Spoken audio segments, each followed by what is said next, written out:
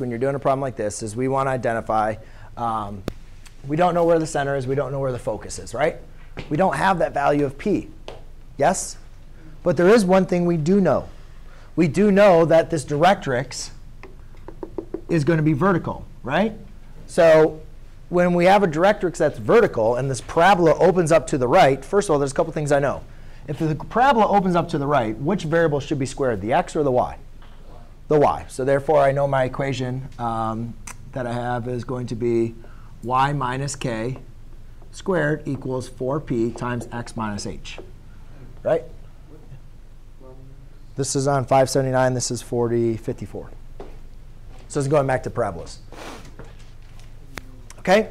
So teaching this for a couple days, I already have the formula memorized. So therefore, I would expect you guys, by doing your homework, could probably be close to getting that memorized as well. It's the same form. Mean, it's pretty similar.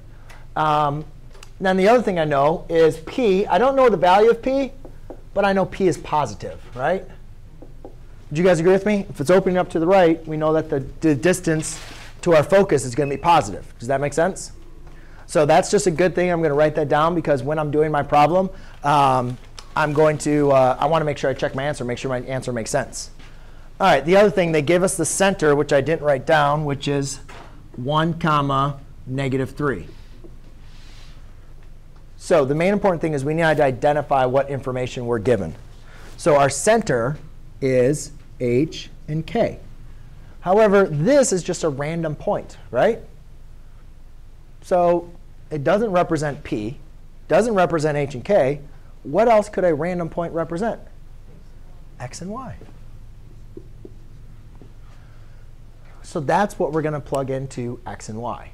So now I can plug in 0 minus 8 or k, so that would be a negative 1,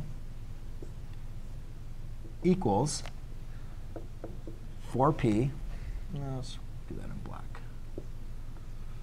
4p times x, which is 5.5, minus um, h, which is 1.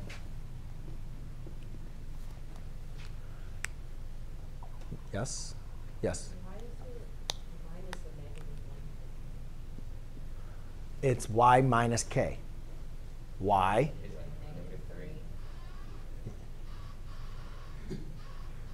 Yes, I switched those around. Thank you. So it's y. Oh, I just didn't write it in there. That's y minus 3. Yes. It's just three. Not negative three. Well, if it's over 1, down 3. Right? So it should be, so that h should be negative 3. But then it turns out it's positive. Huh? Right. Well, in in the end, yes, that's what I was showing you. I'm just showing my work.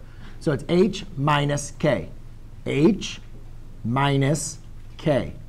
Agreed? So yeah, you're right. A double negative gives you what? Just positive 3. Everybody gets confused on this, so that's why I just kind of broke it down in an extra step. What? What's your question? No, no, I get it. It's just, it's in that down there, it's negative three. I know. Okay. Um, I'm not like I'm. Never mind. Never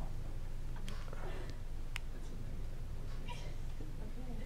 You did it right. You good. Okay.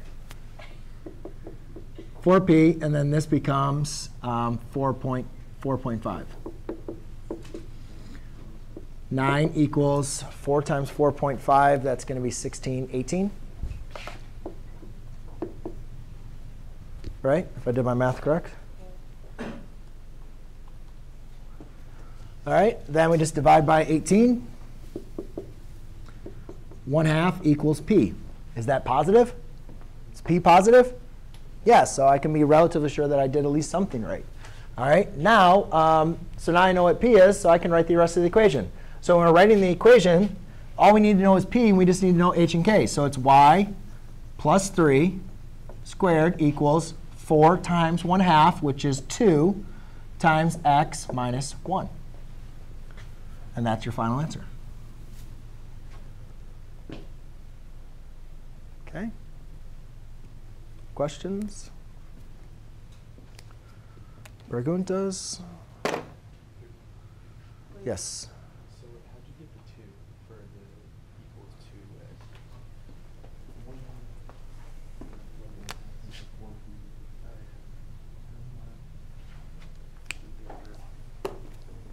Anybody else, any other questions?